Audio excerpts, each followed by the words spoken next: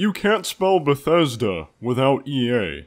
This is a saying that's been passed around for quite a while now, but it's true. Bethesda does have the letters EA in it, and they're kind of acting like EA now, so that's a funny meme. There's another popular saying that kind of applies here. What was it? You either die a hero or live long enough to become horse duty. That's also applicable here. Do I think Bethesda is as bad as EA? No. Don't be ridiculous. They aren't there yet. But do I think they're slowly turning into them? Absolutely. The past year or two have shown us a rapid change in focus at Bethesda. Instead of making great games to make money, it's now make a half-baked game that we can sorta fix later and cram microtransactions down their throats and milk as much money as we can squeeze. Ah, Bethesda. You know, people used to be able to sit back and say, yeah, most gaming companies may suck rear end cheeks, but at least Bethesda still makes high quality, Gucci quality games. Well, didn't you hear? It's 2019! All companies gotta be on that money grind, begging for your wallet every two seconds. It's all about games as a service now. Somehow, in between Skyrim and Fallout 76, we went from this. Oh, snap! $20 for a new six and a half hour long main quest with side quests and a brand new island to explore? Gee, thanks Bethesda. To this dumb shit. Hole up there, boy cow country roads youngin'. I know you're busy walking around shooting stuff in our broken ass game, but can I get you to pay $30 for this Santa suit? But wait, since I like you, I'll mark that down to $20 because I'm generous like that. What's that? You smell horse shit. God, yeah, yeah, you're right. It was never $30, it's always been 20 Hold up, let me get my Sharpie out. There. And now cough up, ho. Oh, and we can't forget about this. Hey, Bethesda. I paid $200 for the Power Armor Edition. It was supposed to come with a canvas bag. I got a glorified hacky sack. What am I supposed to do with this thing? Drown? Ah, snap. Our B. Here's 500 atoms for our microtransaction shop. Go buck wild! Don't spend it all in one place! You get the point. Bethesda has fallen from its golden throne of gaming sexiness down to using the tactics of EA and Activision. Instead of releasing a quality game, let's release a half-baked asset flip of our last game, charge upwards to $200 for it, and shove microtransactions in there. Screw our fans. I'm not here to rip Fallout 76 a new booty. Not yet. It's a dead horse that's been annihilated to the point where you almost gotta feel bad for it. Anyways, I'm here to talk about when and how Bethesda started to suck ass, what led to it, and will it affect their upcoming games Starfield and Elder Scrolls 6. To do that, we gotta go back to the beginning and really analyze their history in chronological order, to find out exactly when they turned into money whores.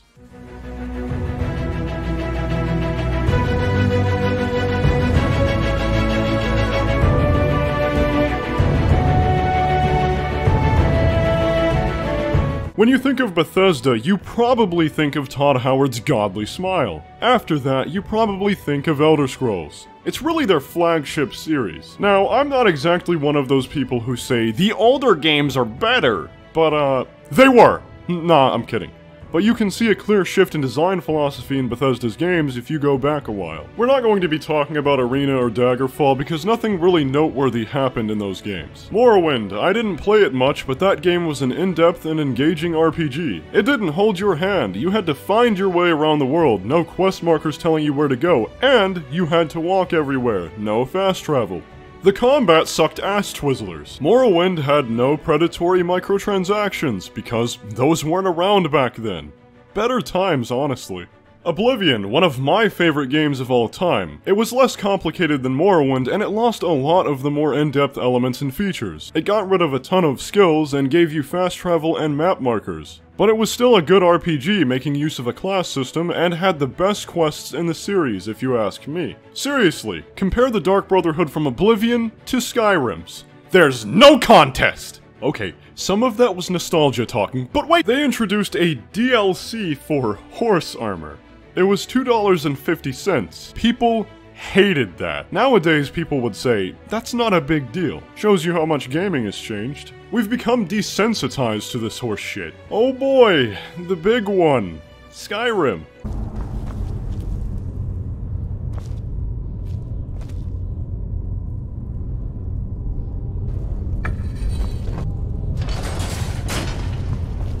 Gonna get a ton of shit for this one. Now, there are two camps people usually fall into with this game. You either love it, OMG, best game ever made, I think the horses are sexy, or you think it's lame, baby duty, watered down, dumbed down, not an RPG poop sauce. That's me, the second one. Now, don't get me wrong, Skyrim is a great game. But in my opinion, it's the most dull and least engaging game in the series. I mean, every quest sends you to a cave to fight Draugr. Last Thieves Guild quest, Draugr Ruin. Pretty much every College of Winterhold quest, Draugr Ruin. Kill me. Yet again, they stripped out more skills, made it so you couldn't really fail any quest, and made the leveling system far simpler. So between those three games, what was a reoccurring theme between all of them? After Morrowind, each game started stripping features, simplifying gameplay, and making the games more accessible to a larger audience. Is this always a bad thing? No, but it does show the change in direction Bethesda has taken, broadening their audience and casualizing the games. Because more people buying your game means more money, obviously. It's a bit of a no-brainer there. Now, I'm not a hardcore gamer girl. I'm not saying that making Skyrim more approachable to a larger amount of people is bad. At all. I'm saying it came at a cost of the more in-depth elements the game had in the past that made people fall in love with the series to begin with. All in all, the Elder Scrolls series hasn't been ruined or anything, yet. It's still great. I still play Skyrim myself. Why wouldn't I? I have it on my fucking watch! You might be saying, okay, Wombat, what's your point? Where's the scummy stuff Bethesda's done with the Elder Scrolls? Well, in Skyrim, they pulled an extra dirty move.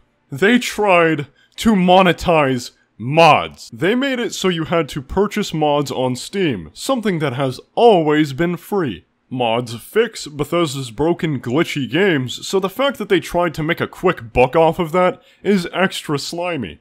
Obviously, players fought back and Bethesda changed their minds, but they wouldn't hold back for long.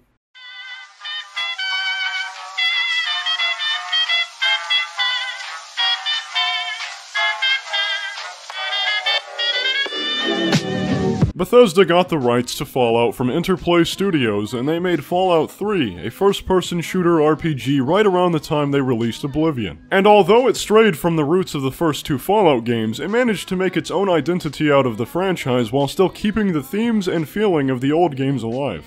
So, what kind of scummy shit did they pull here? Nothing. Fallout 3 was a great game with fairly priced, awesome DLC. No horse armor here. The problem here actually comes in when Bethesda decided to let another studio play with their toys in the sandbox and make their own game. Bethesda allowed Obsidian to make their own Fallout game using their Gamebryo engine. Obsidian was given 18 months. A year and a half to create an all-new Fallout game, something that Bethesda usually gives themselves 6 years to do.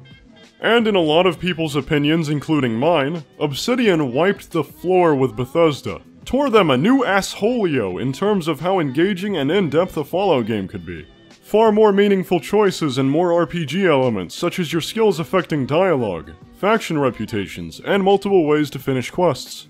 Look up the quest Beyond the Beef and just how many ways there are to finish that quest, and then compare that to most Bethesda designed quests, and you'll know exactly what I mean. It really upstaged Bethesda, honestly, with what was accomplished in a fraction of their normal development time. And guess what? Bethesda were complete turd munches to Obsidian afterwards. You see, not only did they give them no time at all to make the game, they also didn't pay Obsidian a promised bonus upon completing the game because it was one point below the Metacritic score it was supposed to get. I'm not joking. And the lower review scores were mainly due to how buggy the game was at launch, thanks to Bethesda's dinosaur fossil of an engine, and those bugs were promptly fixed with a patch.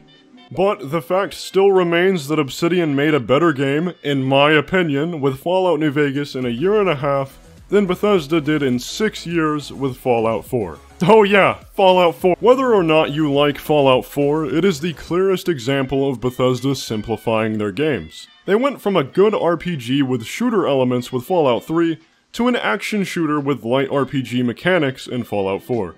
I know, many people may jump up my ass and say Fallout 4 is an RPG. Okay, then so is Far Cry. In Far Cry, you do just about as much shooty shooty bang bang no questions asked as you do in Fallout 4, and it has leveling up your gun damage, just like Fallout 4. About all that Fallout 4 has to make itself really different is it has a terrible conversation system and factions. That's it. It's Far Cry with a Fallout skin. Eat me. I actually enjoy Far Cry with a Fallout skin, don't get me wrong. There are just far less meaningful choices to make, and every quest is a go here, shoot this, and return affair. And you don't feel like anything you do changes anything.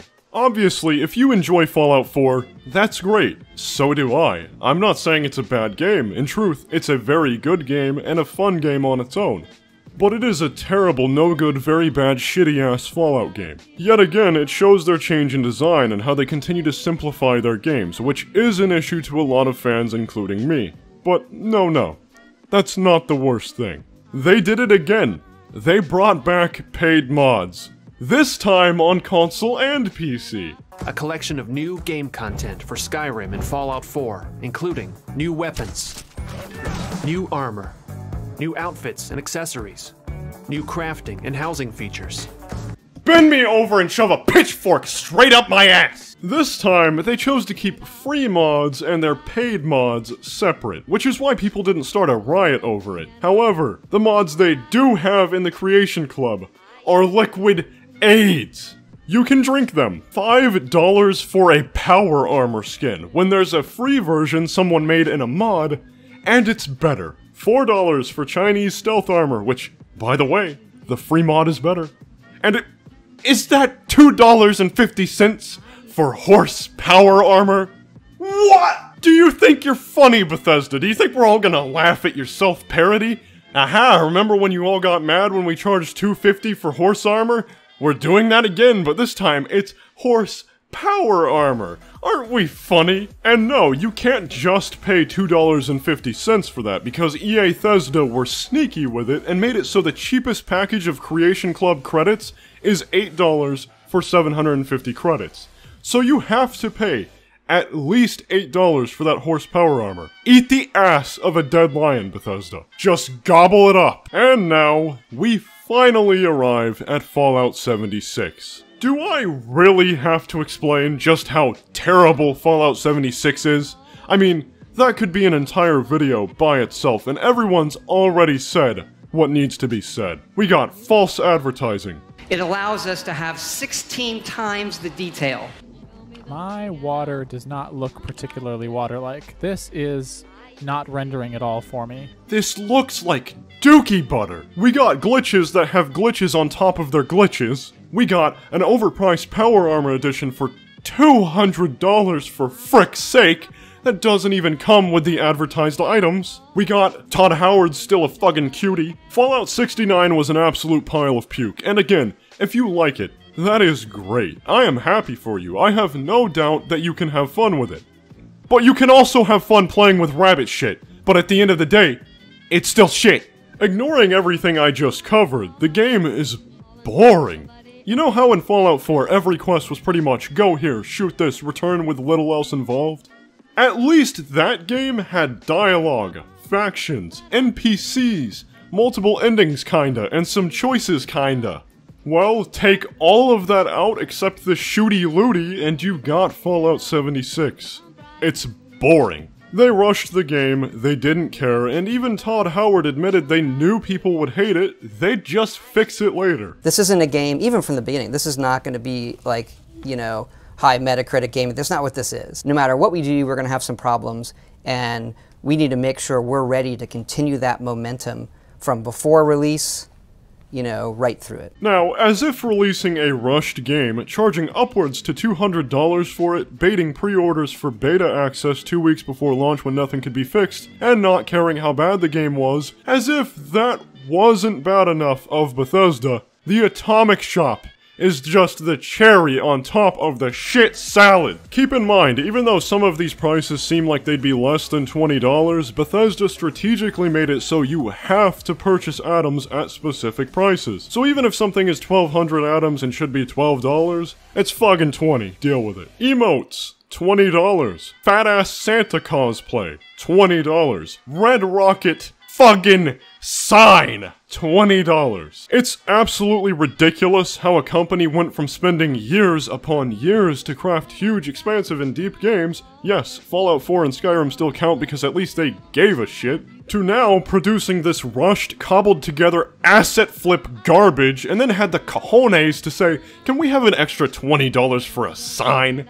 That's why I am no longer excited for Elder Scrolls 6, and I couldn't give a donkey's dick about Starfield. That game can deep throat a star for all I care. If you earn my money, I'll hand it over.